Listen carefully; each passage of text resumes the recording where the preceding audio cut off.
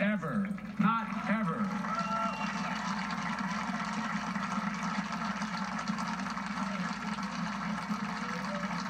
To all those who supported our campaign, I'm humbled by the faith you place in us. To all those who did not support us, let me say this. Hear me out as we move forward. Take a measure of me and my heart. If you still disagree, so be it. That's democracy. That's America. The right to dissent peaceably within the guardrails of our republic is perhaps this nation's greatest strength. Yet hear me clearly. Disagreement must not lead to disunion. And I pledge this to you. I will be a president for all Americans. All Americans. And I promise you, I will fight as hard for those who did not support me as for those who did.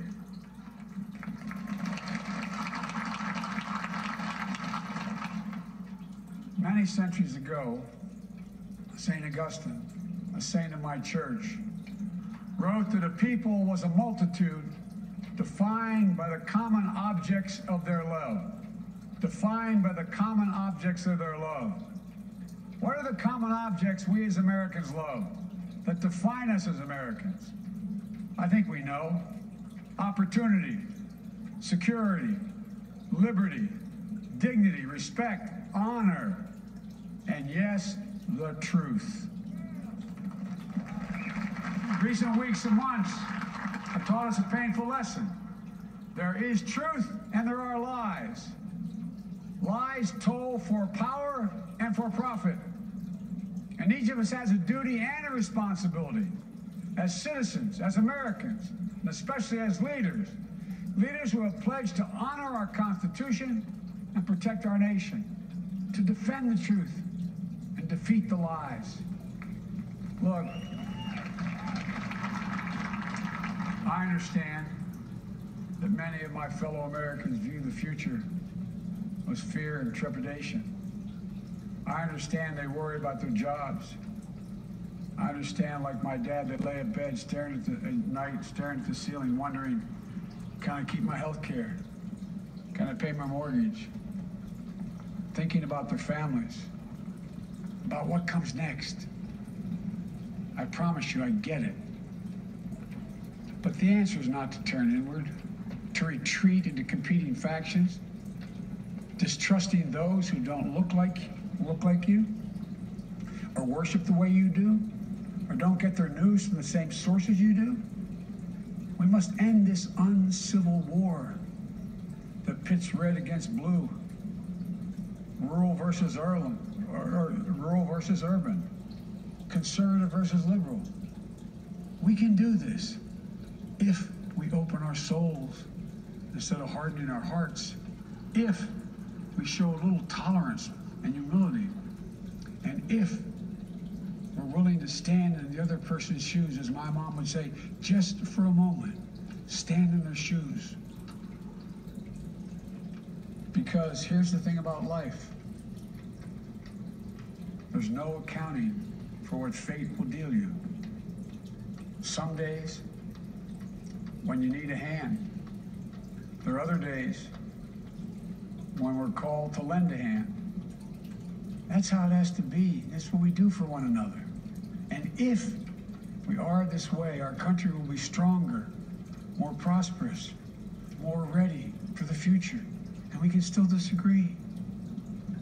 My fellow Americans, in the work ahead of us, we're going to need each other. We need all our strength to, preserve, to persevere through this dark winter. We're entering what may be the toughest and deadliest period of the virus. We must set aside politics and finally face this pandemic as one nation. One nation. And I promise you this as the Bible says, weeping may endure for a night, but joy cometh in the morning. We will get through this together. Together. Look, folks, all my colleagues I serve with in the House and the Senate up here,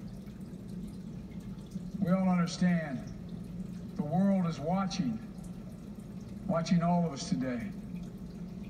So here's my message to those beyond our borders. America has been tested, and we've come out stronger for it. We will repair our alliances and engage with the world once again.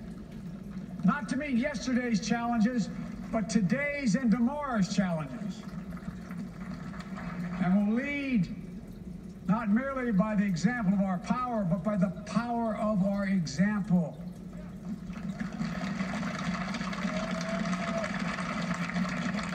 We'll be a strong and trusted partner for peace, progress, and security. Look, you all know we've been through, through so much in this nation. And my first act as president, I'd like to ask you to join me in a moment of silent prayer. Remember all those who we lost this past year to the pandemic.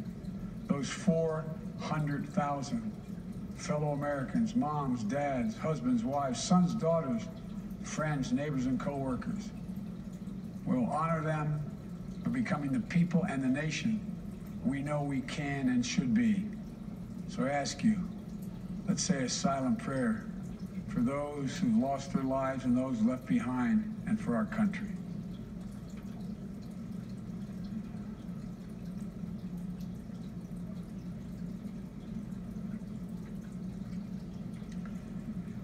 Amen. Folks, this is a time of testing. We face an attack on our democracy and on truth, a raging virus, growing inequity, the sting of systemic racism, a climate in crisis, America's role in the world. Any one of these would be enough to challenge us in profound ways. But the fact is, we face them all at once presenting this nation with a, one of the gravest responsibilities we've had. Now we're going to be tested. Are we going to step up, all of us? It's time for boldness, for there's so much to do. And this is certain. I promise you, we will be judged, you and I, by how we resolve these cascading crises of our era. We will rise to the occasion is the question. Will we master this rare and difficult hour? Will we meet our obligations and pass along a new and better world to our children?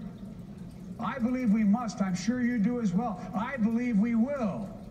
And when we do, we'll write the next great chapter in the history of the United States of America, the American story. A story that might sound something like a song that means a lot to me. It's called American Anthem. There's one verse that stands out, at least for me, and it goes like this. The work and prayers of century have brought us to this day. What shall be our legacy? What will our children say? Let me know in my heart when my days are through. America, America, I gave my best to you. Let's add, let's us add our own work and prayers to the unfolding story of our great nation. If we do this, then when our days are through, our children and our children's children will save us, they gave their best.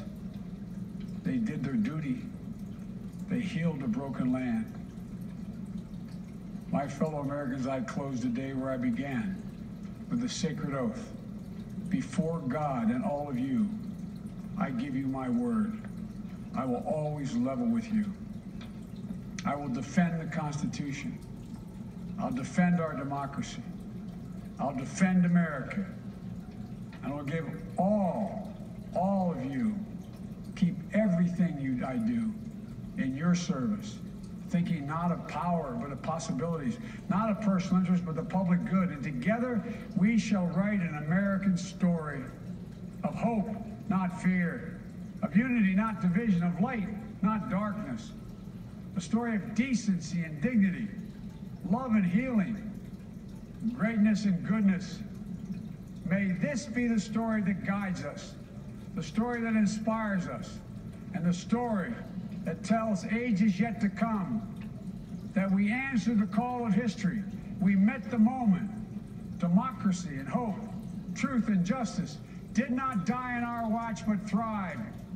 That America secured liberty at home and stood once again as a beacon to the world.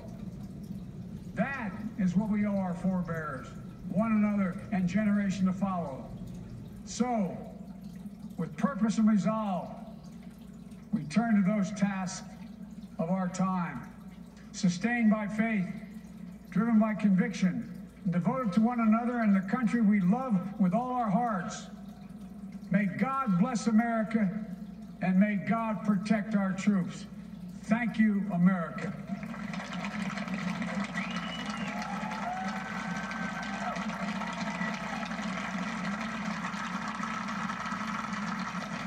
Sworn in on a Bible that has been in his family since 1893. The 46th President of the United States, Joe